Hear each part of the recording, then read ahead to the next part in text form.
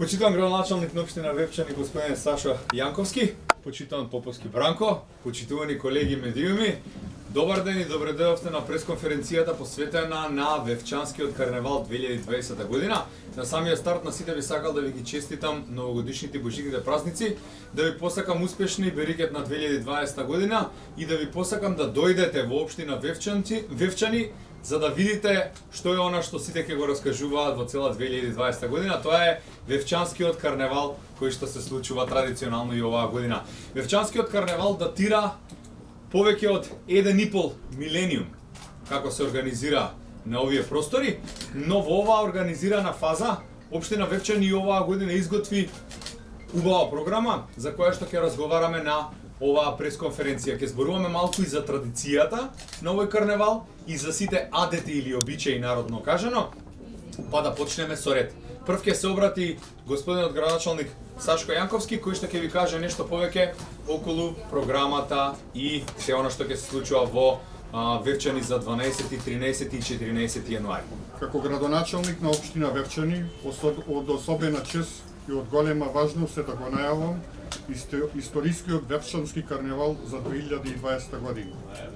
Повикувајќи се на овогодишниот оригинален слоган Кеоиш, ќе ви одговорам на Вевчански карневал и ве повикувам и вам да станете Василичани. Програмата официјално започнува на 12 јануар на отворената театарска сцена, каде што се спојуваат паганските обичаи и модерниот свет. Во забавниот дел, каде што ќе започне во 19 часот, ќе настапи Владко Лозановски, кој ќе, ќе се согласите ја одбележа годината на музички план. Останатите изведувачи и времето на нивното настапување се на, наведени во програмата што ќе добиете денес. Кулминацијата очекуваме да се случи на 13 јануари, кога маските што се е, кријат во тајност 365 дена, ќе бидат представени пред јавноста. Сатирата и слободата во изразувањето и овој пат беа водилки при креирањето на маските и сценаријата на изведувачите. За ова 2020 година тие ветуваат многу смеа, игра, театар, и маски кои што ќе ги привлечат вниманието на јавноста, задржувајќи ја својата уникатност и архаичност. По дефилето на 14 јануари, според паганските обичаи, маските ќе бидат запалени се со цел да се уништи злото.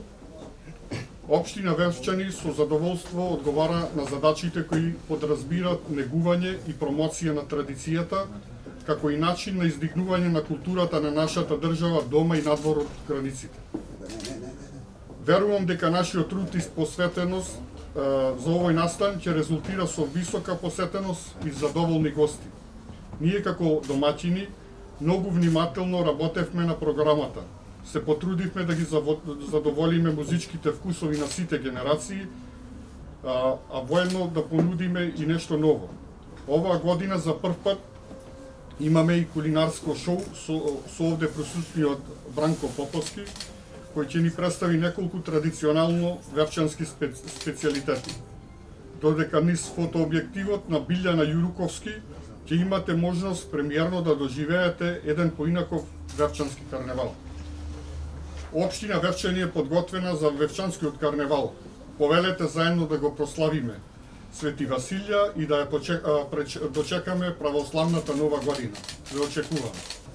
Во духот на она што го спомна градоначалникот за бркање на злото, само еден интересен податок кој што вели дека според вевчанските обичаи, деновите по нова година се несвети и тогаш дјаволот може највеќе да му наштети на човекот.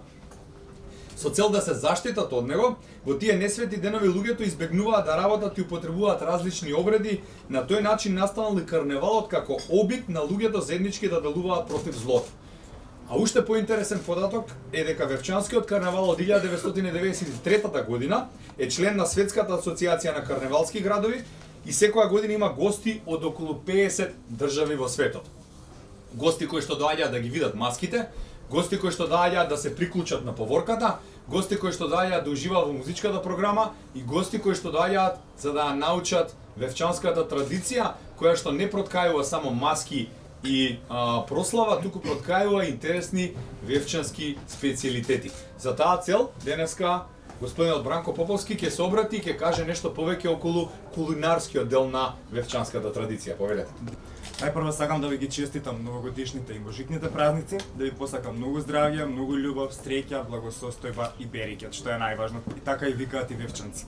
Да, оваа година за прв пат на Вевчанскиот карневал место ќе зафатам јас, Поповски Бранко или познат под псевдонимот како Cooking with Бранко. Огромна чест и задоволство ќе биде тоа што јас сум вевчанец и ќе имам можност да се покажам пред вевчанци и пред вас, пред сите посетители на овогодинишниот вевчански карневал, вкусувањето на рецептите и традицијата од рацете на Cooking with Бранко. Имате можност да ги пробате сите вевчански специјалитети како вевчанско јомлезе, вевчанска тава, вевчан, вевчански луканец, вевчанското вино и уште многу, многу, многу други рецепти кои што доколку сега продолжиме да ги кажуваме, ќе ни требаат уште часови со часови. Така да ве поканувам сите да бидете дел од овогодинешниот Вевчански карневал и доколку ве прашаат кеош да одговорите на Вевчански карневал ода да се направа силиче. Ви благодарам.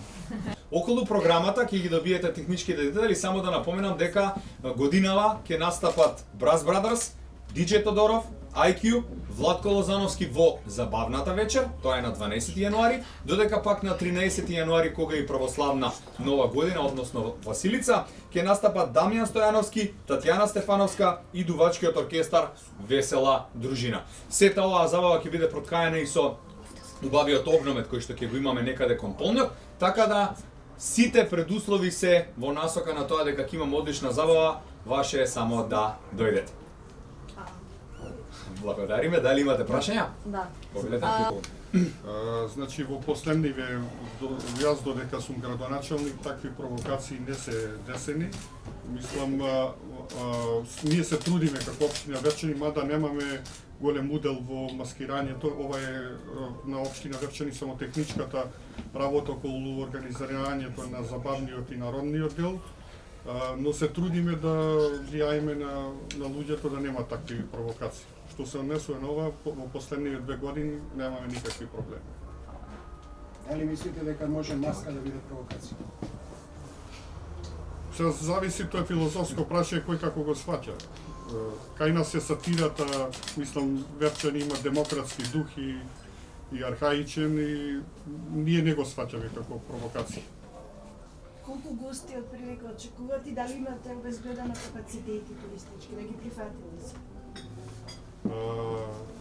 Обично се калкулира со околу бројката 10 до 20 илјади гости што присуствуваат. А, Ние немаме толков капацитет да ги примаме, меѓутоа тука се околните Струга и Охрид, така да се сме спремни за тој.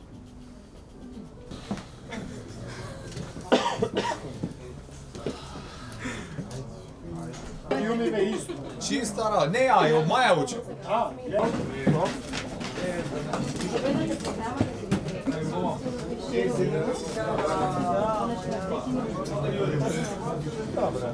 Она ќе има се.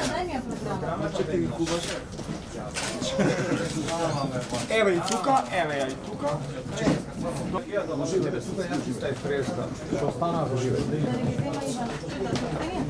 Да, Ивана? Дај, Бранче. Кај Ивана се. Кај Ивана Да. Дай брамта. Каивана. Каивана. Да. Не само вас.